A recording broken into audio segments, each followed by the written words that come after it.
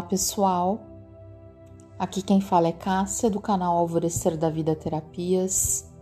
Vamos a mais um áudio vídeo de reflexões sobre a jornada. Essa é uma modalidade que apenas vocês escutam a minha voz. Não é uma verdade absoluta, é simplesmente questões que eu trago aqui para que a gente possa pensar. Pode ter alguns momentos que pareça meio confuso, pode ser que eu acabe repetindo coisas que eu já falei em, em outros vídeos, mas a ideia é que a gente possa realmente se conectar, abrir o coração para que a gente possa então encontrar as nossas próprias respostas. As jornadas elas são únicas, elas não são isoladas, é, mas são únicas. Sejam de chama gêmea, de alma gêmea. É, demorou um pouquinho desde o do último que eu publiquei. É, eu quero ver se eu faço mais é, vídeos desse tipo, mais áudios desse tipo. E uma das coisas que eu queria conversar hoje com vocês é sobre a importância de a gente dar o nome. Tem uma música, né? Acho que é cinco a seco, dar o nome.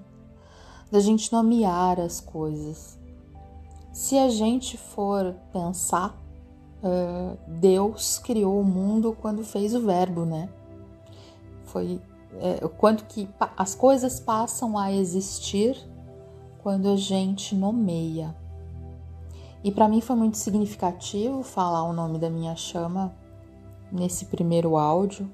Foi algo realmente forte e foi muito interessante porque eu percebi que muitas pessoas passaram é, nos comentários ali daquele, daquele áudio falar o nome das, das chamas, das almas gêmeas.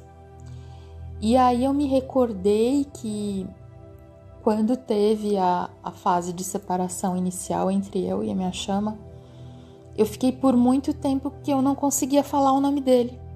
Eu não conseguia dizer o nome dele.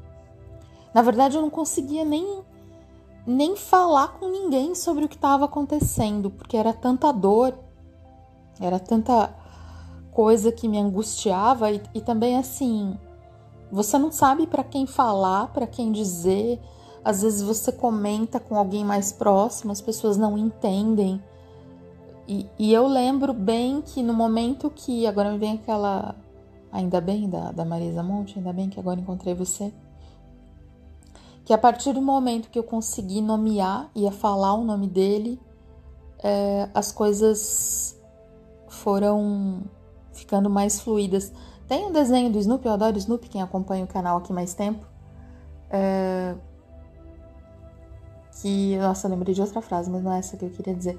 Mas tem uma passagem que eles dizem que quando você consegue dizer o nome é, sem chorar, é uma coisa assim, gente. Significa que isso está tá resolvido dentro de você.